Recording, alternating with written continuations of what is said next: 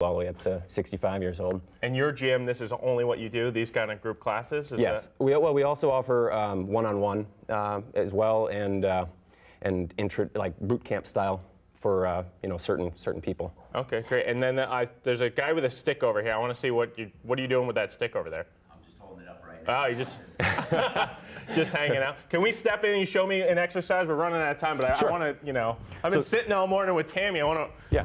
Get the workout in. All right. So- I, am totally overdressed for this, but Okay. So if you want, yeah, we can start with all right. this. So 'cause- here's the stick. so what you can do is I just got uncomfortable holding a stick. in, in real world, in the real life, you know, you may have something on the ground, you need to pick it up. So Uh-huh. that's a functional movement. In, in order to prepare for that, we'd work on deadlifts. So if All you go down, This is this is my kind of weight too. yep. You know, so. bend, don't bend your knees, and then and then bend your knees as soon as you get past them. All right, and then so you're in the setup Tammy's position. looking at me with this face like, how? all right, all right.